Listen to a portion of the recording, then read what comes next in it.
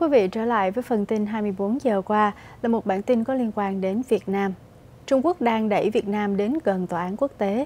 Một số chuyên gia nghiên cứu Biển Đông nhận định rằng động thái phản đối quen thuộc của Việt Nam trước những hành động hung hăng của Trung Quốc ở Biển Đông là một phản ứng cần thiết theo yêu cầu của luật pháp quốc tế, nhưng không đủ, thậm chí đang tạo ra một vòng luận quẩn.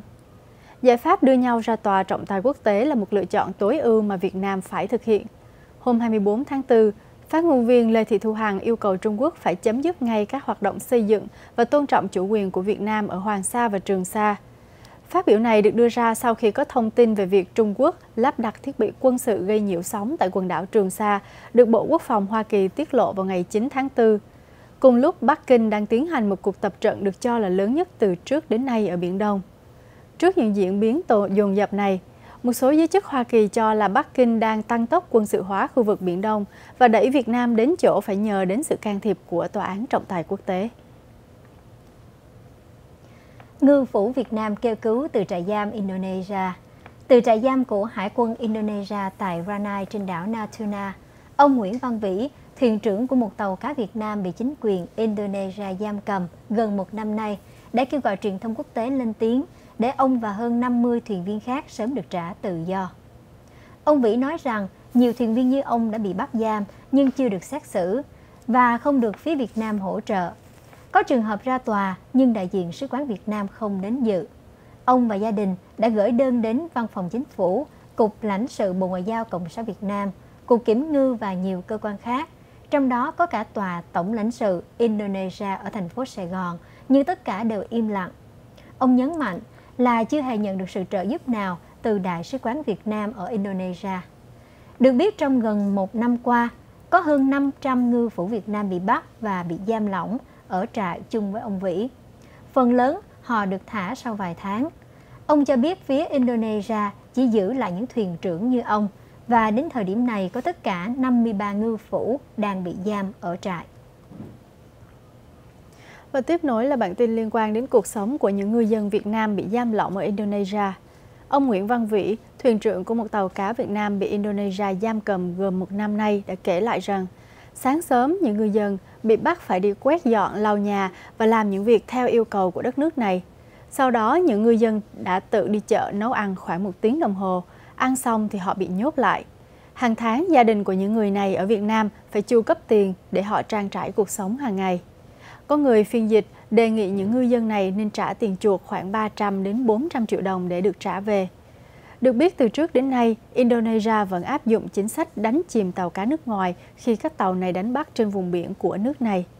Vào tuần trước, trong chuyến thăm đến Hà Nội, Ngoại trưởng Indonesia và người đồng cấp Việt Nam cam kết giải quyết các vấn đề ảnh hưởng đến hợp tác thương mại giữa hai nước, đặc biệt là các vấn đề về vi phạm đánh bắt trên Biển Đông, bảo vệ ngư dân và tàu cá. Tuy nhiên, hôm 25 tháng 4, Indonesia lại vừa bắt giữ hai tàu cá Việt Nam cùng với thủy thủ đoàn ở gần đảo Natuna, tịch thu 300 kg cá và bắt giam tất cả 21 thuyền viên trên tàu. Trong khi đó thì Việt Nam rộ tin Trần Đại Quang sắp bị thay thế. Sau gần một tháng tiếp tục vắng mặt bất thường trong các hoạt động đón tiếp nguyên thủ ngoại quốc đến thăm viếng Việt Nam. Vào hôm 25 tháng 4, có tin Chủ tịch Cộng sản Việt Nam Trần Đại Quang sắp bị thay thế bằng ông Nguyễn Thiện Nhân, đương kim bí thư thành ủy Sài Gòn. Lần gần đây nhất mà các báo đưa tin về ông Quang là hôm 2 tháng 4. Ông này tiếp ông Amachago Ganson là thư ký Hội đồng An ninh Quốc gia Mông Cổ tại Hà Nội.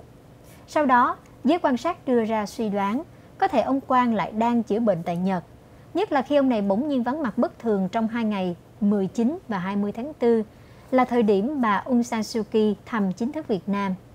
Trước đó ông này cũng không có mặt trong buổi gặp gỡ Chủ tịch Quốc hội Iran Ali Larijani thăm Việt Nam từ ngày 15 cho tới 18 tháng 4. Cũng có tin đồn cho rằng trước khi tiếp tục đi Nhật chữa bệnh vào tháng 4 năm nay, ông Quang đã gửi đơn xin từ chức gửi Bộ Chính trị Cộng sản Việt Nam. Tuy nhiên hiện tại chưa có nguồn chính thức để xác nhận tin này. Thưa quý vị, STX tiết lộ loạt phim của họ tại CinemaCon. Hãng phim Hollywood STX Entertainment giới thiệu bộ phim sắp tới của họ tại CinemaCon vào tối thứ Ba 24 tháng 4. Loạt phim bao gồm Mile 22nd cùng với Mark Wahlberg và Ronda Rousey. phim Peppermint với Jennifer Garner và phim Adrift với Shailene Woodley và Sam Claflin. Trong Mile 22, Wahlberg đóng vai một nhân viên cảnh sát được cử đi làm nhiệm vụ đưa một sĩ quan cảnh sát khác ra khỏi đất nước. Để làm phim, Wahlberg và các diễn viên khác dành thời gian với các cảnh sát chìm để tìm hiểu cách họ thực hiện các nhiệm vụ bí mật như thế nào. Trong khi đó, Jennifer Garner tiết lộ về bộ phim Peppermint kể về câu chuyện về một người phụ nữ trong một nhiệm vụ trả thù. Bộ phim cuối cùng Adrift là câu chuyện có thật của một cặp đôi đã bị bắt trong một cơn bão lớn nhất trong lịch sử hiện đại. Bối cảnh của phim hoàn toàn đều được quay trên biển. Hội nghị rạp chiếu phim thường niên CinemaCon tiếp tục cho đến ngày 26 tháng 4. Thưa quý vị, các tweet của Kanye West gây tranh cãi. Kanye West cho biết vào thứ Tư 25 tháng 4 rằng anh đã sa thải người quản lý của mình và cho biết anh có thể chạy đua cho vị trí ứng cử Tổng thống Hoa Kỳ trong một thông báo anh đăng trên Twitter. Trong đó anh hứa rằng sẽ ra mắt 4 album mới và so sánh bản thân mình với Henry Ford và Walt Disney. Rapper và cũng là nhà thiết kế thời trang 40 tuổi đã im lặng trên Twitter từ 4 năm nay cũng tuyên bố rằng dòng thời trang Weezy của anh sẽ trở thành công ty may mặc lớn nhất trong lịch sử nhân loại, mặc dù không có một bằng chứng nào để chứng minh việc này. Trong 10 ngày qua, West đã có một loạt các bài đăng trên Twitter. Đôi khi anh đăng tới 20 lần mỗi giờ với các chủ đề khác nhau. Trong vài ngày qua, West đã nói anh sẽ phát hành 4 album mới vào tháng 6 sắp tới. Và ngay sau đây mời quý vị đến với phần dự báo thời tiết cho ngày thứ Sáu 27 tháng 4 cùng với Thiện Hạnh.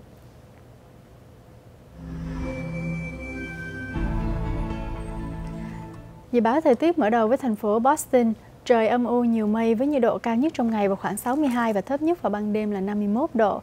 Gió Nam từ 10 cho đến 20 dặm một giờ, dự báo có 60% mưa rải rác đến chiều tối. New York trời âm u và nhiều mây, nhiệt độ cao nhất trong ngày vào khoảng 58 và thấp nhất vào ban đêm là 50 độ. Gió Đông Nam từ 5 cho đến 10 dặm một giờ, dự báo có 90% mưa nhiều vào buổi sáng. Thủ đô Washington DC trời nhiều mây âm u với nhiệt độ cao nhất trong ngày vào khoảng 62, thấp nhất vào ban đêm là 50 độ. Gió Đông Bắc từ 10 cho đến 15 dặm một giờ, dự báo có mưa vào buổi sáng. Khu vực Atlanta trời nắng nhẹ và mây rải rác, nhiệt độ cao nhất trong ngày vào khoảng 70 và thấp nhất vào ban đêm là 49 độ. Gió Tây Bắc từ 10 cho đến 15 dặm một giờ, dự báo xác suất mưa vào khoảng 10%. Orlando trời nhiều mây âm u với nhiệt độ cao nhất trong ngày vào khoảng 85 và thấp nhất vào ban đêm là 64 độ. Gió Tây Nam từ 10 cho đến 20 dặm một giờ, dự báo có 50% mưa vào buổi sáng.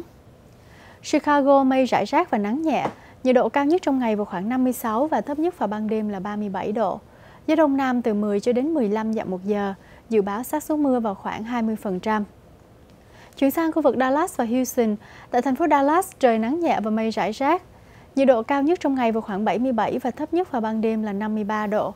Gió Tây Bắc từ 10 cho đến 15 dặm một giờ, dự báo xác suất mưa vào khoảng 10%.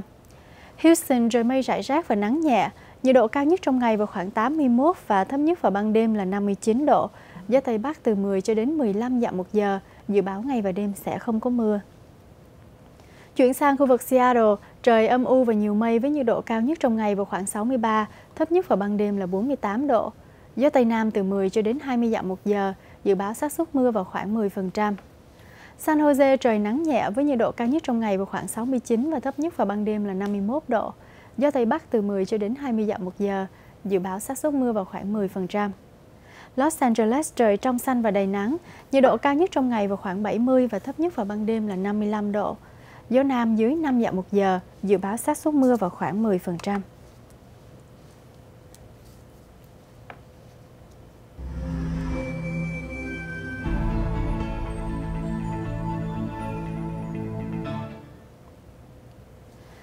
Quý vị, bản tin dự báo thời tiết vừa rồi cũng đã kết thúc cho phần tin 24 giờ qua cùng với Thi Nhung và Thiện Hạnh. Chúng tôi chân thành cảm ơn quý vị đã quan tâm theo dõi. Hẹn gặp lại quý vị trong những chương trình tiếp theo. Xin kính chào. Xin thân ái kính chào.